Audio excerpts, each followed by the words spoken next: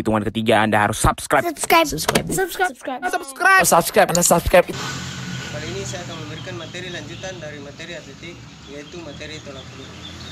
Tolak peluru merupakan salah satu cabang olahraga atletik yang terdiri dari nomor lempar. Sesuai dengan namanya, tolak peluru dilakukan dengan cara ditolak atau didorong dan tidak dilakukan dengan cara dilempar. Baik, kali ini saya akan memberikan contoh cara melakukan tolak peluru. Sebelum itu, saya akan memberikan sedikit penjelasan tentang teknik melakukan tolak peluru. Yang pertama, cara memegang peluru. Yang kedua, sikap badan saat akan melakukan tolak peluru. Yang ketiga, cara menolak peluru dan yang keempat, sikap badan saat akan melakukan tolak peluru. Baik, perhatikan teknik atau contoh melakukan tolak peluru.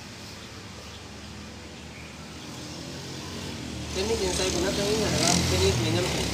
Pertama, bola atau peluru diletakkan di bawah telinga atau di samping telinga. Kaki kanan agak tekuk dan kaki kiri lurus. Cara melakukan tolakan yaitu pertama melakukan ancang-ancang dengan kaki diayun, terus buang langkah di samping atau di sasaran tempat anda membuang bola atau menolak bola. Contoh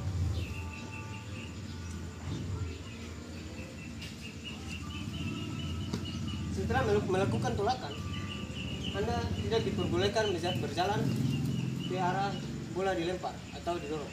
Anda harus kembali ke tempat awal anda datang. Oke. Baik tadi sedikit penjelasan saya mengenai teknik atau cara melakukan tolak peluru selanjutnya saya akan memberikan tugas. Ada beberapa tugas di sini. Yang pertama gambarkan lapangan tolak peluru yang kedua sebutkan atau tuliskan ukuran berat bola tolak peluru untuk putra dan putri.